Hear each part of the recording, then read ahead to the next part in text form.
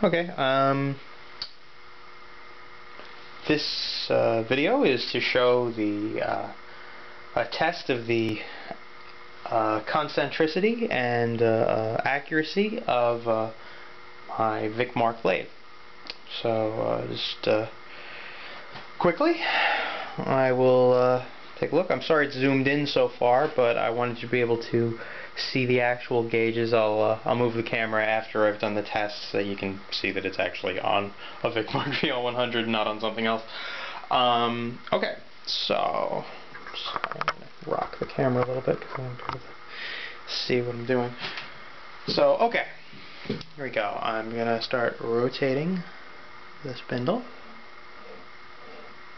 and I don't know how much you can see of the gauges moving but they are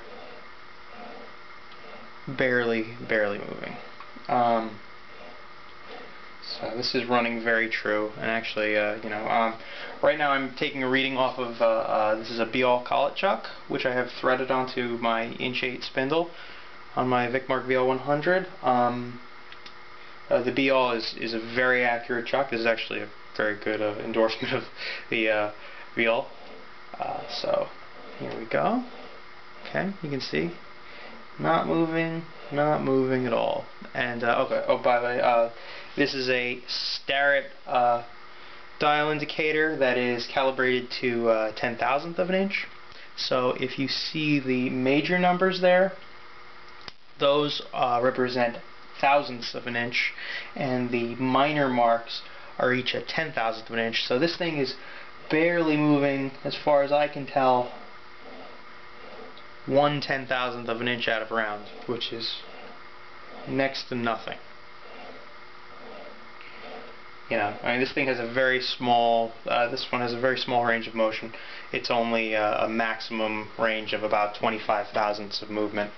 Um, okay, here we have a Blake coaxial indicator, which uh, I am using to show how concentric the headstock spindle is to the tailstock bore.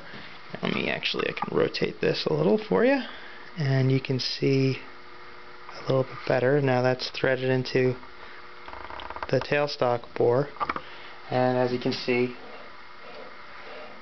that is, uh, I mean, I, I, don't know if you can see it, I can see it, it's moving, but it's moving very small amount. Um, it, not even a, a quarter or a half of the distance between two tick marks, which uh, the, the tick marks, uh, I believe, represent about a thousandth of an inch. Um, uh, the other thing to keep in mind is that on the Blake indicator, uh, the Blake indicator is showing how uh, how eccentric something is. So actually whatever it's reading, whatever the, the maximum distance is between readings, uh, as a center to center difference, it would be half that. So if it was reading, you know, if it was reading 10 thousandths back and forth, then you know that you'd be 5 thousandths off center because you're going to the maximum and the minimum, the maximum and then the minimum. So, so this is this is very much very much spot on you know, and then this is, uh, you know, and this, again, I just, you know, just slid the tailstock up, locked it. I didn't, I didn't hit it with hammers, I didn't, you know, adjust it until it was right. In fact, you know, if you want, I'll, I'm to grab this, I'm to unlock it, I'm to move it, come back, lift this up, drop it in anywhere, I'll just move it around, you know, whatever. Lock it in here. Try it again. Now, you notice the needle's in a different position you know, I'm just, uh, you know, locking the thing in. There you go. Well, now it's moving more like a thousandth. You know, you can see it. It's moving about a thousandth now.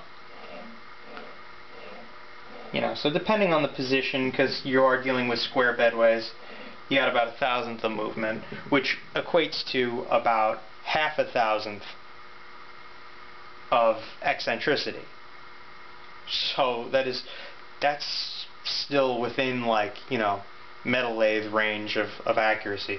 In fact, I, I believe if I just push on it to one side, here if I unlock this and I just push it to one side, and then lock it, uh, which is uh, I just push it against the back side of the ways evenly. I don't, you know, not going crazy, not doing anything too, too nuts. Um, yeah, there. Now it's back to less than a thousandth of movement. It's moving, but very slightly. So, so this is uh, this is very accurate. This is a very accurate little wave. Um, and uh, yeah, no, very, very true. I would highly recommend the uh, the Vicmarc VL100 if uh, accuracy is a concern of yours. Alright, well, thank you very much for watching. Wait, actually, wait, before I quit, let's, uh,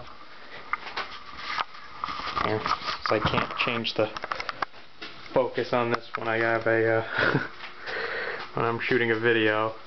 That was just a Vicmarc VL100. Okay. Cool. Alright, well, I hope you enjoyed.